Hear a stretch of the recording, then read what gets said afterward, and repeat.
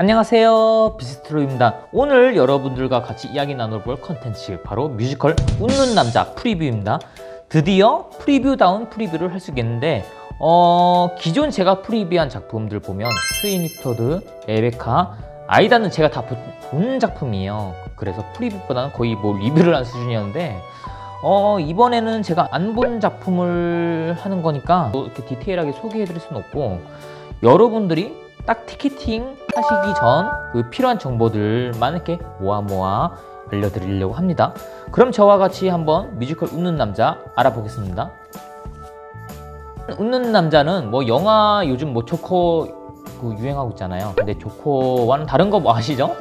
뭐 막 넘버에 막 넘버 why so serious 뭐 이런 거 있는 거 아니에요? 17세기 영국을 배경으로 만들어진 이 작품에는 그윈플렌 역에 이석훈, 규현, 박강현, 수호가 캐스팅되었고요. 우르스스 역에는 민영기, 양준모가 캐스팅되었고요. 조시아나 노공작에는 신영숙, 김소양 캐스팅되었고요. 대하 역에는 강혜인과 이수빈이 그리고 데이빗 더리모 경에는 최성원, 강태열이 각각 캐스팅되었습니다. 어, EMK가 진짜 프로필은 잘 뽑죠? 2020년 1월 9일부터 3월 1일까지 약 2개월간 예술의 전당 오페라 극장에 올라오고요. 가격은 다음과 같습니다. 어, 역시 토 나오죠?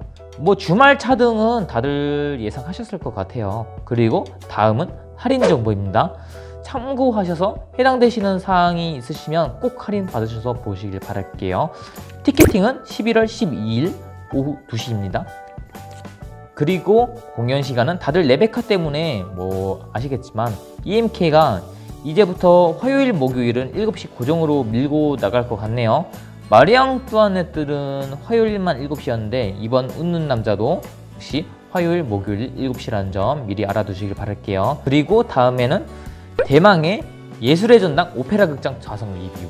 다들 아시다시피 예술의 전당 오페라 극장은 어마어마하게 큰 극장이잖아요 1층부터 4층까지 있습니다. 여기는 제가 여기는 별로 안 좋아하는 극장이에요. 정확히 말하면 뮤지컬이 여기에 오는 거 별로 안 좋아하는데 여기 4층 가보신 분 손 손 들어보세요. 완전 꼭대기죠? 그런데 여기를 주말가 7만원에 책정했다니까 이거 진짜 어, 토나와요. 어, 사실상 여기 3층이 일반 대극장 3층이거든요. 근데 근데 예술의 전당은 제일 뒤가 4층이다 보니까 그냥 4층을 일반 대극장 3층 즉 A석 가격 매겨버린 거예요. 그런데 원래 정상대로 하면 예술의 전당 3층을 그냥 일반 대극장 3층 가격 A석 가격인 6만원에서 7만원으로 책정하고 4층을 그 밑에 등급으로 책정해서 한 3, 4만원에 책정해야 하는 거 아닌가요? 그 저만 그렇게 생각하는 건가요? 저는 이렇게 해야 된다고 생각하거든요. 어, 근데 어, 좀 말이 안 되는 것 같아요. 이렇게 말씀드릴 정도로 4층은 굉장히 멀어요. 오페라 글라스 들어도 멀어요. 그러면 3층은 어떻냐? 3층이 이제 기본적인 대극장 3층 거리라 보시면 되시는데요. 이 3층을 또 9만원에서 10만원에 가기에는 좀 가성비가 그래요. 좀 심해요. 어, 제가 이래서 예술의 전당 오페라 극장 싫어해요. 가격이 그냥 미쳐버려요. 3층을 정가고 싶으시면 3층 1열이 제일 답이겠죠.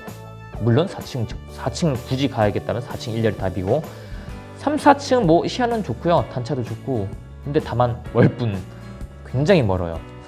자, 2층으로 내려가 볼게요. 아직 자리 등급은 안 나왔지만 2층은 아마 뭐 제일 앞에 비석 뿌릴 거예요. 근데 2층 앞열이 생각보다 무대에서 가깝습니다. 뭐 진짜 가깝다는 건 아니고요. 예술의 전당이 어마어마하게 크잖아요. 그래서 2층 앞열도 멀겠지라는 마인드로 제가 가봤는데 그 마인드로 가서 그러는지 그 생각보다는 가깝더라고요.